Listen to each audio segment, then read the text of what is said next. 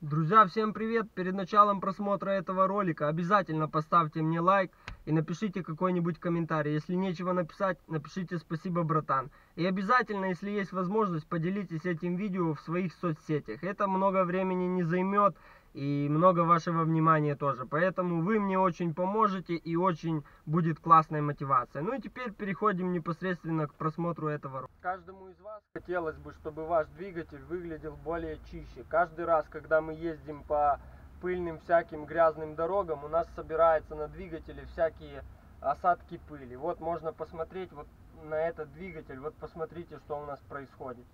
И много автовладельцев хотят его помыть. А помыть э, сейчас э, ходит хит такой, заехать на мойку и вам керхером э, все это ну, вы, выбьют, выдуют.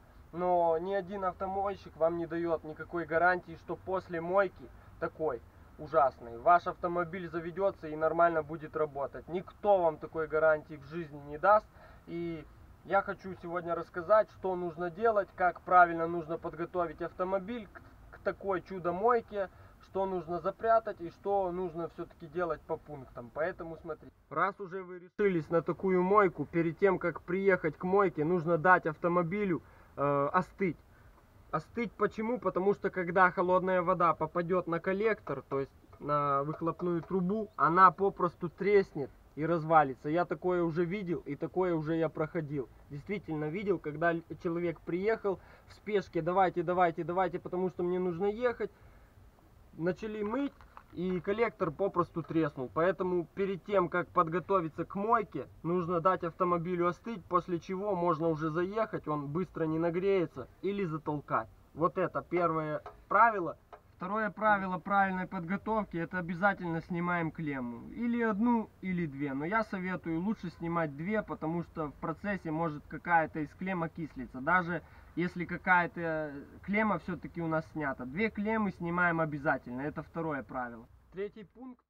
Нам нужно запрятать все вот такие вот фишки, куда подходят провода. Вот видно, у меня вот фишка. Ее обязательно нужно замотать. Или целлофаном, или Э, чем-нибудь еще. И вот еще один момент, вот у нас блок предохранителей. Это вот э, коробочка не дает нам полной гарантии, что сюда не попадет вода. Ее тоже желательно закрыть, то есть чем-нибудь, каким-то целлофановым пакетом. А после чего, когда уже автомобиль помоется, можно даже намочить тряпочку и мокрой тряпочкой протереть.